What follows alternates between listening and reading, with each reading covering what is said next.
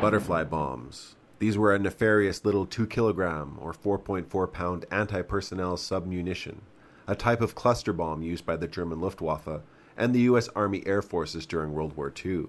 It's called a butterfly bomb because of its shape. It had a shell that hinged open when the bomb deployed, giving it the appearance of a large butterfly, one that wanted to kill you.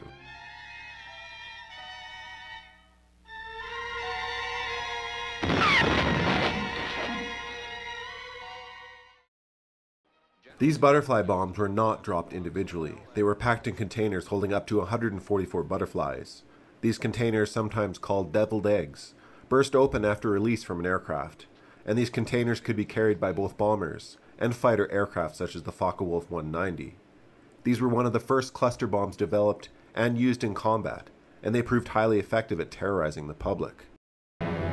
When the fuse goes off, unlocking the cluster, the butterfly bombs tumble out. Butterfly bombs could be set to explode in the air, or with a clockwork delay, detonating well after landing, meaning even after an air raid had passed, explosions could still be causing chaos.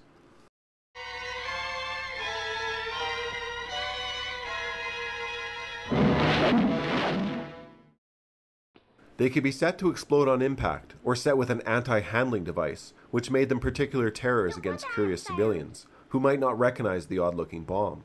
But they also terrorized farmers, factory workers, and could hold up runways.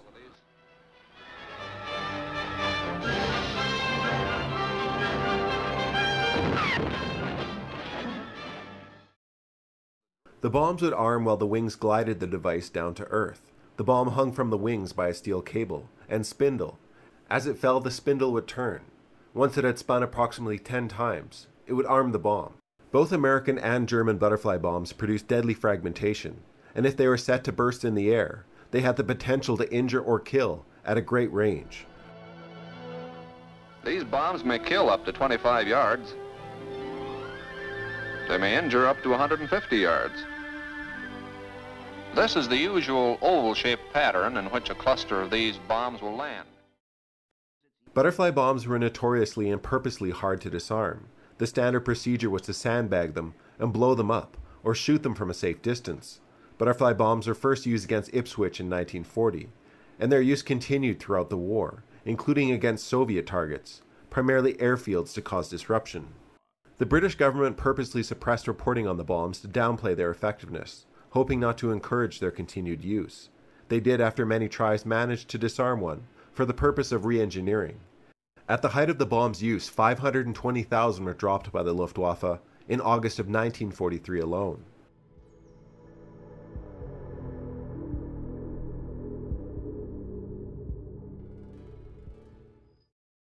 These bombs continued to terrorize the public for years after the war. The last bomb was found on a heavily bombed airfield on the island of Malta in 2009 by an 11 year old boy.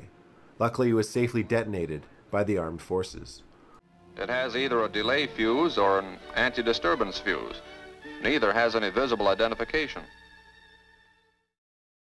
The Americans ultimately chose to copy and mass produce the butterfly bomb. They used it during World War II, the Korean War, and the Vietnam War, designating it the M 83. The Americans also used a cluster bomb or deviled egg to deliver their butterflies. The M29 cluster bomb weighed 230 kilograms or 500 pounds and carried nine wafers or sections of 10 bombs each. Okay, Meg.